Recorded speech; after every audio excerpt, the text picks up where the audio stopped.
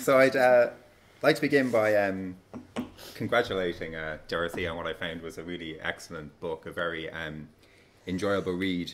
Um, but also, as we're talking about choice, um, her choice of cover design, which I think is really, really nice. so, not resources you have to draw on for, for that. Um, so, the risk of going last always means um, I'm probably going to cover some stuff here that's already been been said, um, but it might act, act as a useful um. I'll just focus really on what I took from the from the book, and really I found it a great sort of treasure trove of theoretical and methodological um, insights. Um, and not only that, but also how that fed into um, what I thought that was a very well designed study. So um, if there's any you know, PhD or master's uh, students in the room, it's a good one to uh, to have a look at and take note of. Um, and also what you mentioned, Dorothea, this relationship between theory and practice and how they can mutually um, inform each um, other. Um, as people mentioned already, and as your slides um, talked about, I really like the idea of um, development as a process. I think the nice quote you use is the point of development is to expand the portfolio of the capabilities that form the shape of an individual's freedom of choice. So I really liked that. And following on um, Jeff's point, actually, actually, I, although I agree with it up to a point around the, the role of technology and what it played in the in the book, I think for me, it was how that fitted in with other key resources and how that related to um, or acted as a basis for an individual's agency, which I found um, quite illuminating.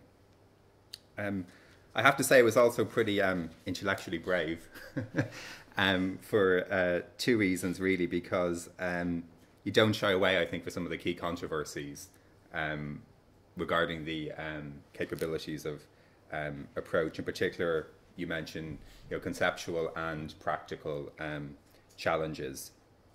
On the conceptual side, um, I found the discussion around the need to operationalize, um, as we've already um, talked about, but also then maintain the complexity of them, the tension between those and how you negotiate that. And I thought the perspective on looking at methodologically at qualitative um, methods as a way of helping to support that, I found um, quite interesting.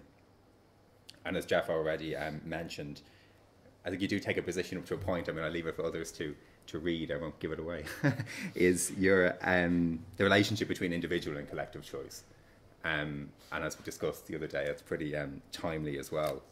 Um, and in terms of the practical um, aspects, uh, Saskia already talked about um, what you might define as sector outputs, and ideally that's what funders want, and not really the unpredictable nature of um, sort of the choices people might make on an, on an individual level.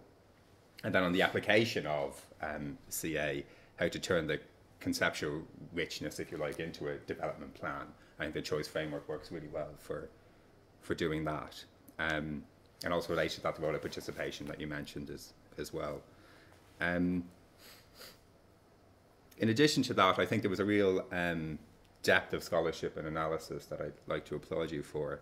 Um, and there's a couple of, of points, well, four really on this, um, that I actually found really interesting. Um, one was the illumination of the role of discourse within social structures, um, and the role of discourse in framing the perceived range of options available for um, individual and collective choice, which I have to admit I must do more thinking about myself. But it was it was uh, certainly nice to uh, get that insight. Um, I found it very bene- beneficial. And also, of course, the choice framework itself, which we've all um, talked about um, already. But again, how I think for me it positions um, technologies as part of social structures that users have to, to navigate.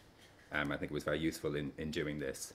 And I like how at the, um, at the end, in your conclusion, you position the choice framework as a as a living tool. So you know, go out there. Very much, I guess, as Sen talks about the capabilities uh, approach. Go out and use it um, in your own work, critique it, etc. And I think that as a as a living tool, not to kind of hold on tightly to it, um, was really um, admirable. And just to echo Jeff's point earlier as well, that really came out for me as well as the strong focus on people. So the whole um, chapter five, I think it was, which was um, titled "Meeting People," which you know, simple and very um, effective and nice, detailed four case studies um, that I found really, really, really interesting. Particularly how um, their roles change through their use of um, technology, which I found um, really, really good.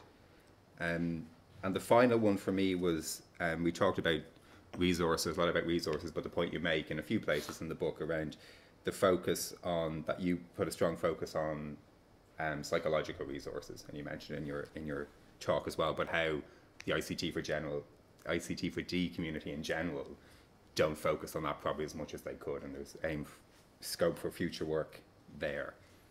Um, I think that's all I wanted to say, other than to end by congratulating you again on wonderful achievement. Thank you.